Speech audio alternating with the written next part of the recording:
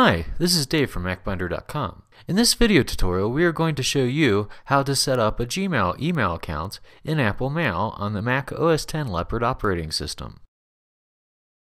Apple Mail automatically configures Gmail accounts. All you need to provide is your email address and password. To start, we need to set up our Gmail account to allow POP connections.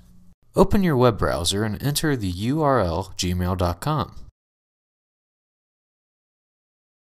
Enter your username and password to log into your Gmail account.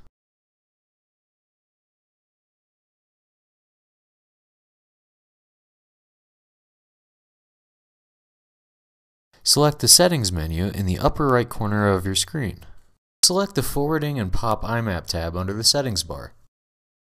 In our example, we will choose a POP connection. If you choose POP for all mail, this copies all mail currently in your Gmail account to your computer. If you select POP for mail that arrives from now on, Apple Mail will only receive new mail that arrives into your Gmail inbox. When you're done, go ahead and click Save Changes.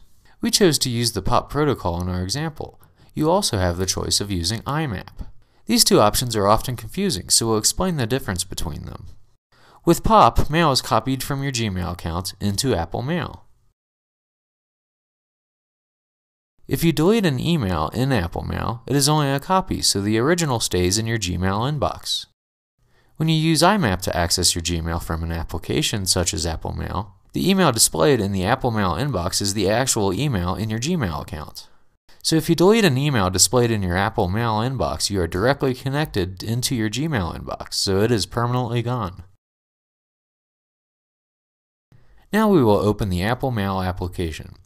If this is not already located in your dock, you can find it by opening the Finder. Then select Applications from the sidebar.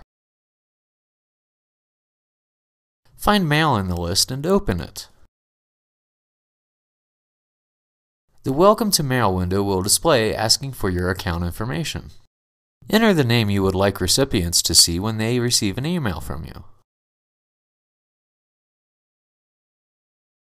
Enter your Gmail email address in this box.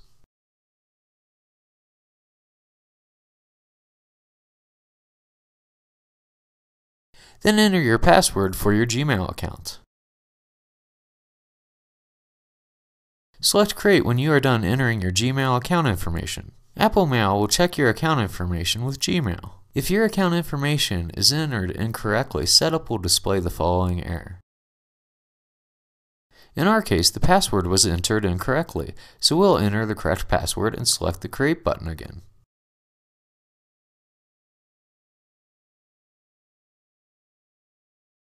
Apple Mail is now set up for your Gmail account. To check for new mail, select the Get Mail button. We have many other tutorials available that cover setup and configuration of the Leopard operating system. Just visit our website at macbinder.com.